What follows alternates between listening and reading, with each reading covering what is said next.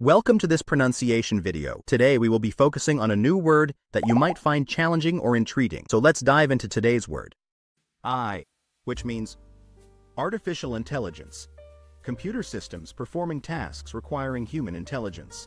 Let's say it all together. I. I. I. One more time. I. I. I.